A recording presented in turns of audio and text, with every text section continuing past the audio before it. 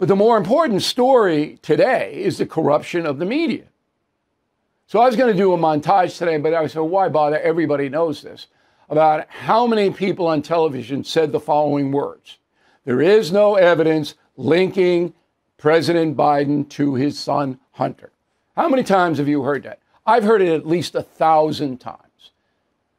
Uh, and it's just, it's, that's the orders that went out to the leftist media and they carried them out to a T. I did a radio commentary today. I basically said, look, Fox News paid $800 million in legal settlements for defrauding the public by allowing people to come on FNC and say that Dominion voting machines were corrupt when the company knew they were not corrupted. Simple. And they know that by emails and all that stuff. This is the same thing. The media knows that there's enough evidence linking Joe Biden to his family finances. Now, we don't know whether Biden himself took money.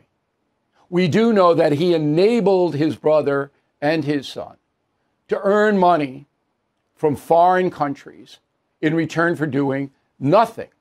And in Ukraine, Joe Biden may have gotten involved by forcing a Ukrainian prosecutor to be removed from office by threats.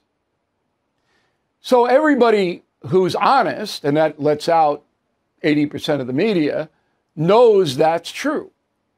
Yet the media over and over and over, no evidence, no evidence, no evidence, no evidence. And you're just sitting there and go, look, we know you're lying, but the media doesn't care. It doesn't care whether you and I know it's lying. Thank you for watching the No Spin News. To watch the full episode anytime on BillO'Reilly.com, please sign up to become a premium or concierge member. Visit BillO'Reilly.com to sign up and start watching today.